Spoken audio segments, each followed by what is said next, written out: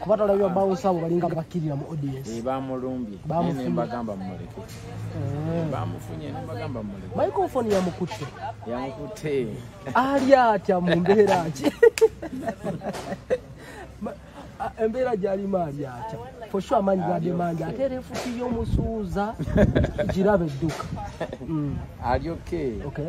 ali oke naye nga nange saali akutinze bulungi ngaomuntu olwokuba nti nga bwomanyi omuntu aba anyiza ava mu mbeera. Mm.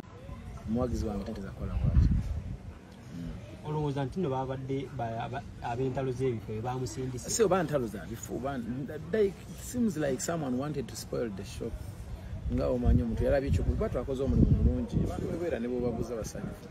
Naye nga bwomanyi abantu abaagala okwonoona ebintu oli yazze nga kyayagala akimanyi lwaki okwata mwenge n'okuyiwa mu bintu nebuzaabuza ino? So there is a problem. Abaguzi bagambye egikenzo waffe obusungu nga bungi. Eh, ate nze ndi muntu nange atolooza nze saazaalibwa muntu nange nazaalibwa muntu i can react. Nze ni musajja akkiririza mu ddiini etakkiriza mwenge oba okitegeera kati bwe mpulira ngaonjiridde omwenge kirina engeri gye kinkolamu obubi oba okiraba?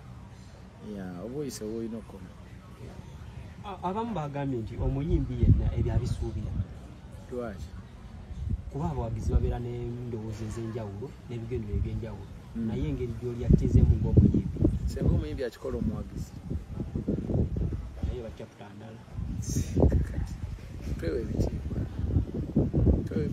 jasi buli omwawo omulimu gwamu n'ekitiibwa oze nkusanyusa esanyuka tokola bintu bitali birungi.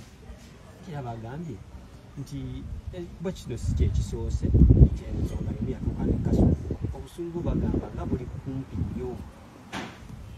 Mm, naye siitambula nga nkasuka mayinji era ngenda okureactinga nga era waliwo nkyokoza nze sikyokoza bwoba ozongoberera emyaka gye maze mu industry sikyokoza muntu yenze i don't provoke. Nze sivumana bantu oli mpuliddeko nga ndi awo nvamu ebigambo ebi- ebi- ebi- ebiyingirira abalala. I don't do these things tewejjusa ku kyewakoze wabula tombuuza bingi ekikolwa kyenakoze sijja kugamba nti kirungi but nga bwe nataalibwa muntu nange ndyakitinanga omuntu mulala but ensonyiwa for that. But kiri kyonga nti abantu bagambye obeetondere bantu ki era nabakoze eki